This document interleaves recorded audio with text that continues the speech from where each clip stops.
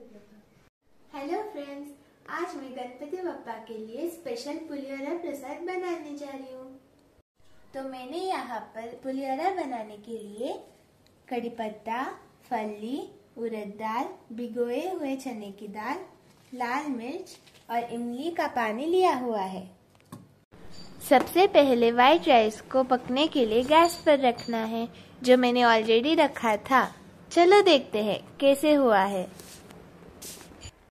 कढ़ाई को गैस पर रखकर गैस ऑन कर लेते हैं। तो यहाँ पे मैंने लिया है तेल, सरसों, हल्दी, नमक और जीरे।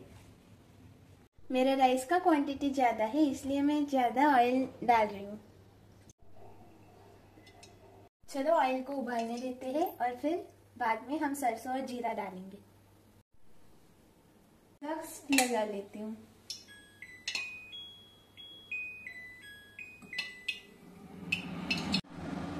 बहुत गर्मी हो रहा है, तब तक मैं खान के नीचे बैठती हूँ।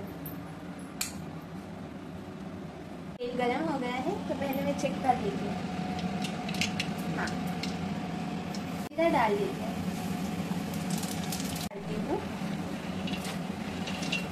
अब एक बार इसको हिला देते हैं। डाल रही हूँ, उड़द की दाल। तो अब इसका लाल रंग आ चुका है तो अब मैं चना डालती हूँ। इसको थोड़ा पकने देते हैं। तो अब हम इसमें डालेंगे करी पत्ता। इसको एक बार मिक्स करते हैं। स्वाद आने के लिए मैं मिर्ची को कट कर रही हूँ। इसमें मिर्ची ऐड करती हूँ। डालने के बाद अच्छे से हैंड वॉश करना है ताकि इसका टीकापन जाए। जब तक हमारा मिक्सचर रेडी नहीं हो जाता, तब तक मैंने राइस ठंडा होने के लिए रखा है। हमें मिर्ची को ब्राउन होने तक पकाना है। जब तक हमारा मिक्सचर रेडी नहीं हो जाता, तब तक मैं मेरे मम्मी और फ्रेंड के साथ डांस कर लेती हूँ।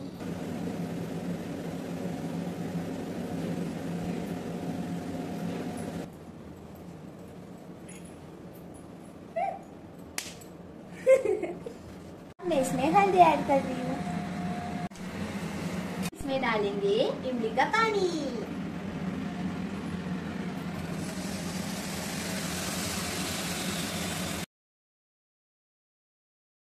इसमें मैं थोड़ा सा नमक डाल रही हूँ, क्योंकि ऑलरेडी मैंने व्हाइट राइस में थोड़ा नमक डाल लिया था। गैस को फुल कर रही हूँ। इसको अच्छे से उबालने देते हैं। मैं इसमें थोड़ा सा राइस निकाल देती हूँ। अब इसमें मिक्सिंग के लिए आसान हो ये मेरा राइस में डालने का मिक्सचर रेडी हो गया। वाह कितना अच्छा दिख रहा है, ना? लास्ट स्टेप है अब मैं मिक्सचर को राइस में मिक्स करूँगी, ताकि ये पूरी हरा बन जाएगा। ये स्पून से अच्छे से मिक्स नहीं हो रहा तो मैं हाथ से कर रही अब ये मेरा प्रसाद रेडी है। आई होप गणपति बप्पा और सब लोगों को मेरा प्रसाद पसंद आए।